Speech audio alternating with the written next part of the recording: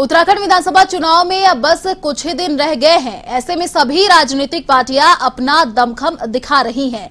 तो वहीं उत्तराखंड कांग्रेस की सह प्रभारी दीपिका सिंह पांडे ने कहा कि अब की बार 50 सीटें लाकर कांग्रेस अपनी सरकार बनाएगी। इसी को लेकर संवाददाता ज्योति सिंह ने बातचीत की दीपिका सिंह पांडे से। उत्तराखंड कांग्रेस की सह प्रभारी दीपिका सिंह पांडे हमारे साथ यहाँ पर मौजूद हैं। मैम देहरादून में बहुत बहुत स्वागत है। महिलाएँ काफ़ी आपके आसपास दिखाई दे रही हैं। बहुत सपोर्ट आपको मिल रहा है।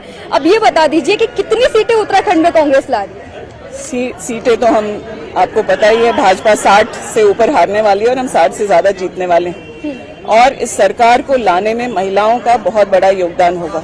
महिलाओं के साथ जो भाजपा ने छल किया है, चाहे वो महँगाई को बढ़ा करके हो, चाहे उनके बच्चों को बेरोजगार करके हो, चाहे कुछ युवा महिलाओं की बेरोजगारी की दर को आप जानती हैं उत्तराखंड में क्या है।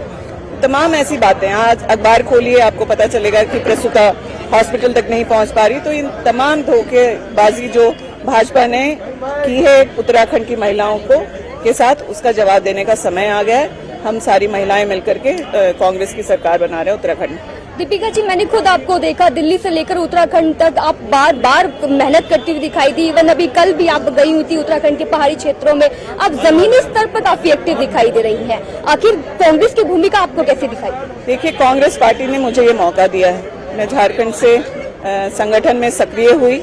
मुझे पार्टी ने टिकट दिया, मैं इलेक्टेड हुई और आज राष्ट्रीय स्तर पर मुझे काम करने का मौका मिल रहा है। यूथ कांग्रेस में हो, चाहे महिला कांग्रेस में हो, मैं विभिन्न स्तरों पर जिला में जिलाध्यक्ष रह करके आज मुझे ये ज़िम्मेदारी मिली है। तो मैं बहुत आभारी हूँ पार्टी की कि मुझे इस तरह के मौके मिले और ये मेरी ज़िम्मेदारी है कि हमारी जो बहनें अलग अलग राज्य में जहाँ भी काम कर रही हैं, संगठन के लिए समर्पित होकर के, उन लोगों को और कैसे सशक्त बनाया जाए ताकि वो चुनावी राजनीति में भी और जो सरकार जब सरकार आती है तो सरकारी तंत्र में भी उन्हें उनका हिस्सा कैसे मिल सके। अच्छा भाजपा कह रही है कि लड़की हूँ लड़ सकती हूँ यूपी में सिर्फ़ दिखाई दे रहा उत्तराखंड में क्यों नहीं दिखाई दे रहा क्योंकि आप खुद एक महिला हैं और ये आप ही समझा पाएँगे कि लड़की हूँ लड़ सकती हूँ। क्या सिर्फ़ सीट तक ही और टिकट तक ही सीमित रह गया देखिए सिर्फ़ टिकट तक ही लड़ सकती हूँ लड़की हूँ लड़ सकती हूँ की बात नहीं है।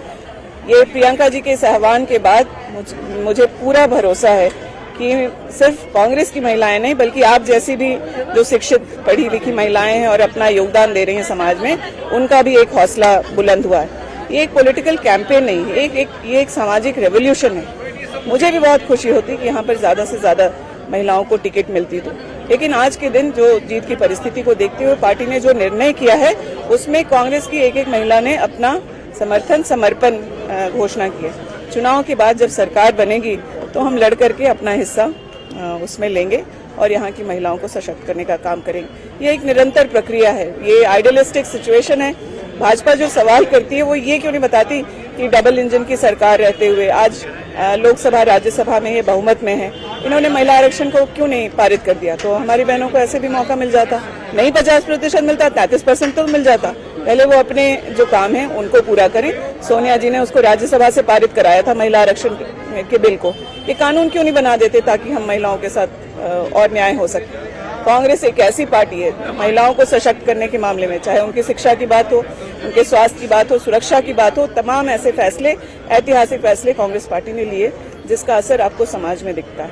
ये एक और बदलाव का आह्वान प्रियंका जी ने किया है उसका असर आने वाले समय में देश में दिखेगा। एक आखिरी सवाल लेना चाहूँगी जिस तरीके से कांग्रेस ने ये घोषणा करी है कि पाँच सौ रूपए गैस सिलेंडर दिया जाएगा लेकिन भाजपा कह रही है पूरे देश में नहीं है इतना रुपए तो।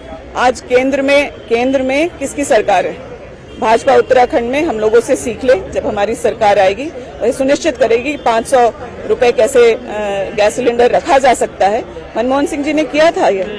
सिलेंडर कभी 500 के पार नहीं हुआ था जब यूपीए की सरकार थी। आज इनका समय ये क्यों नहीं कम कर देते और नहीं कर सकते हैं? उस अर्थव्यवस्था को अगर नहीं समझते, सरकार चलाना नहीं जानते हैं तो उत्तराखंड की जब सरकार बनेगी और हम लोगों की सरकार जब इस बात को सत्य साबित करेगी तो हमसे सीख करके केंद्र में भी कर सकते हैं। आज 2022 में ये राज्य का मुद्दा है और मुझे पूरा भरोसा है आने वाले दिनों में 2024 में भी हम लोग ये करके दिखाएँगे। बहुत बहुत धन्यवाद हमसे बातचीत करने के लिए। तो उत्तराखंड कांग्रेस की सह प्रभारी दीपिका सिंह पांडे हमारे साथ यहाँ पर जुड़ी हुई थी। वीडियो जर्नलिस्ट सुनील के साथ ज्योति सिंह एवन टीवी